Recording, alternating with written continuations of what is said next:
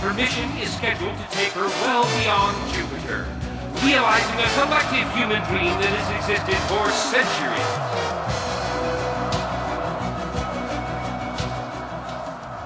God protect you, Ishige. Thanks. Goodbye.